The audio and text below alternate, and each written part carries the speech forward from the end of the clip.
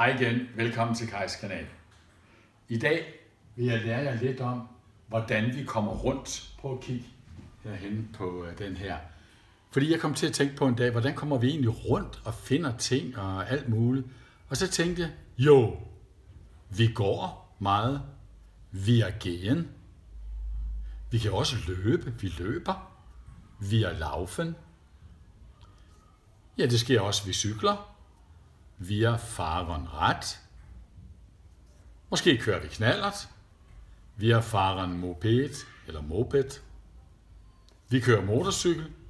Vi er motor, motorrad. Vi kører bil. Vi er auto. Måske tager vi også bussen. Vi er mit dem bus. Vi kører med bussen. Vi tager toget. Vi er mit dem Zug. Måske flyver vi også. Vi fliegen. Det kan også være, at vi sejler. Vi er seglen.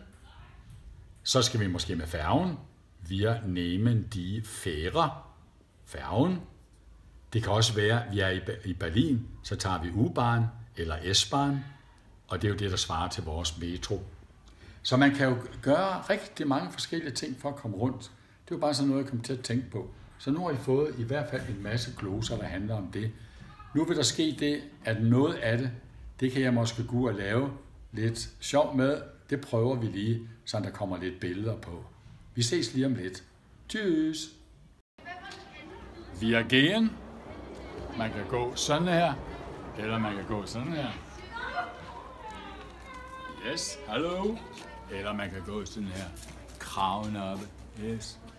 I skede. Yes.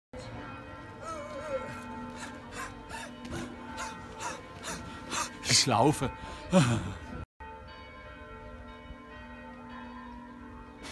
Hallo. Hallo, Bettina, ich fahre auf meinem Fahrrad. Das ist schön, sehr schön. Tschüss. Hallo, ich fahre Moped, aber ich bin nicht sehr gut. Okay?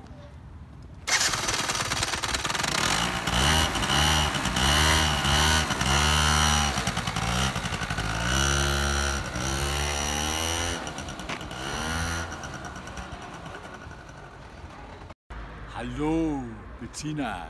Das ist mein Auto. Ich fahre jeden Tag mit meinem Auto. Das ist schön. Und die Sonne scheint. Juhu. Ich fahre mit dem Bus vielleicht.